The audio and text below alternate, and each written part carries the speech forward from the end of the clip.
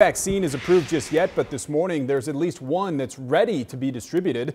Over the weekend, charter flights began flying the Pfizer vaccine to undisclosed sites. They can't be delivered to doctors, but they can be pre-positioned so they're ready to go if and when the FDA gives the green light. The FAA says it will prioritize vaccine shipments.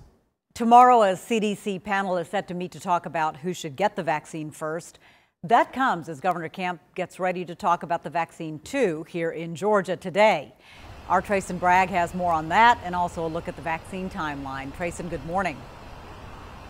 Good morning, Gavir. Yeah, the FDA's Vaccine Advisory Committee is scheduled to meet on December 10th to discuss emergency approval of Pfizer's vaccine. Now, here in Georgia today, Governor Brian Kemp is going to meet in a roundtable discussion to discuss the state's next step with some of those who take care of our most vulnerable population.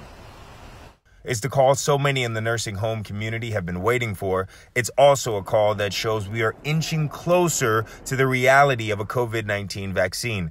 Today, Governor Kemp will meet in a roundtable discussion with administrators from nursing homes throughout the state of Georgia. In that roundtable discussion, the governor will provide an update on the state's battle against COVID 19. He will also share details on the state's plan for vaccine distribution. Now, if that vaccine, if Pfizer's vaccine is actually approved by the FDA, some experts say we could see enough doses to get the, get the vaccine to about 20 million people before the end of the year. Coming up at 5:30, I'll tell you more about the governor's roundtable discussion today. Reporting live at the state capitol, I'm Trayson Bragg, CBS 46 News.